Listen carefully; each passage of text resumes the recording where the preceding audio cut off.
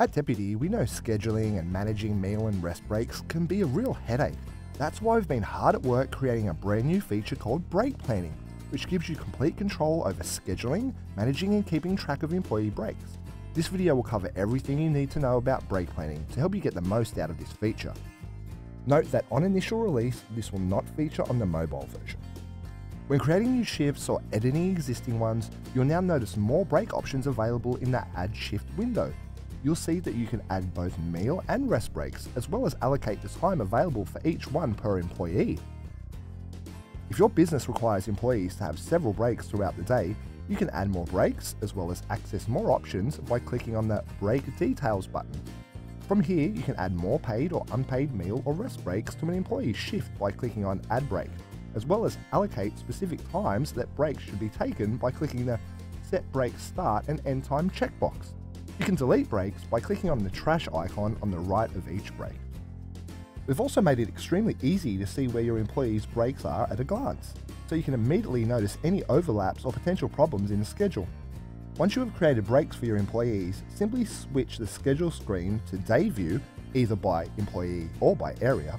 On this screen, you will see shifts highlighted as normal, Unpaid breaks show up as a solid grey bar where they occur, with paid breaks showing up as grey lines.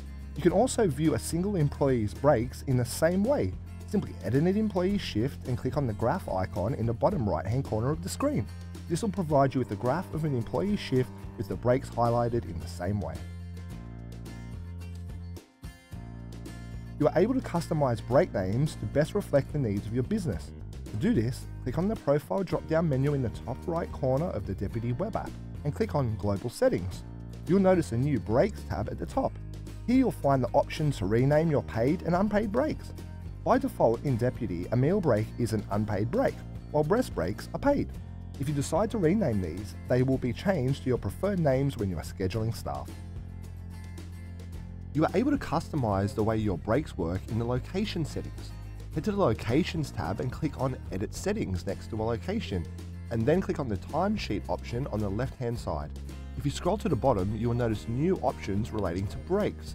The first is a toggle that allows employees to clock in early to shifts, with the option to select how long before their shift they can do this. The second setting can allow or prevent employees from ending their breaks early. The third gives Deputy the ability to automatically suggest breaks while approving timesheets. If breaks are not taken during an employee's shift, and the final option will cause break warnings to be displayed for missed breaks or breaks that are too short when approving timesheets. Scheduled staff will also notice changes to the kiosk as well as to the Start Shift section on the web app.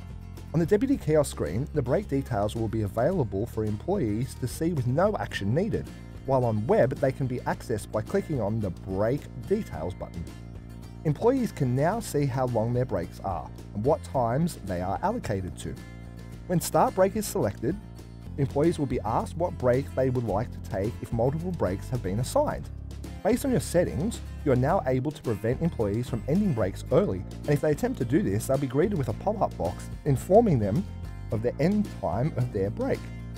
However, employees that have breaks that do not have specific start and stop times can begin and end their breaks whenever they like. Deputy will not automatically prevent them stopping breaks too early or too late. In some instances, managers may need to manually edit breaks after a shift has been completed. For instance, if an employee forgets to start or end their breaks through the kiosk or web. This is easy to do from the timesheet section in Deputy and works much the same way as when shifts are originally created. Simply select the type of break and duration, as well as the start and end times the break should have been taken at, and approve the timesheet. If an employee misses a break for a particular shift, a red notification icon may appear next to the shift details on the timesheet screen, depending on your location setting.